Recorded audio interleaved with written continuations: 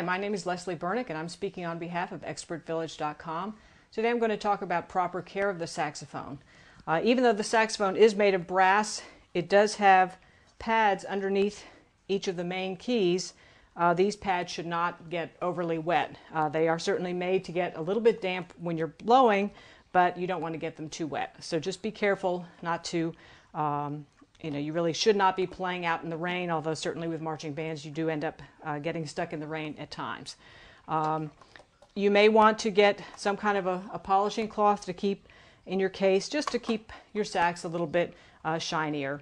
Um, when you're done playing, you will be taking the reed off. In fact, I'll go ahead and show you. You would take the reed off.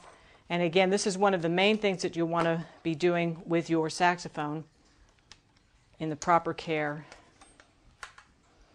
Uh, they do sell these little swabs. Uh, they're all a little bit different.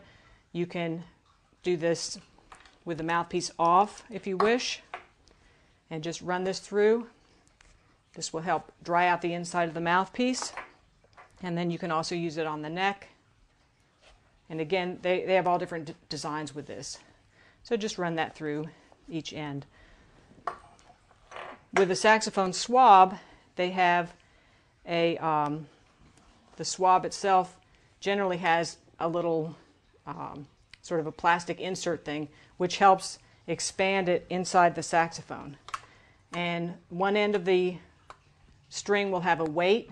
You drop that into the saxophone. And then the string comes out the other end, and then you just pull that through. And that, that way you're going to keep your saxophone uh, nice for a long time.